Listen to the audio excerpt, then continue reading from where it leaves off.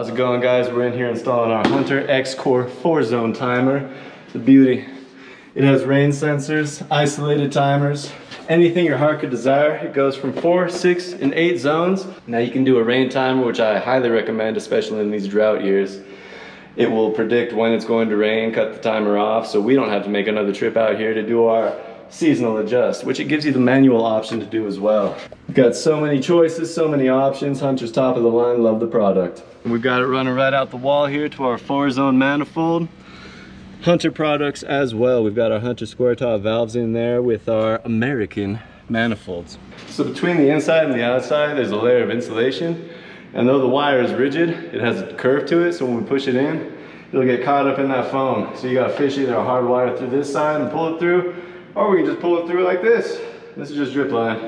I already have the wire cemented on the other side on the roll. Cause we're on a roll, baby. A plus.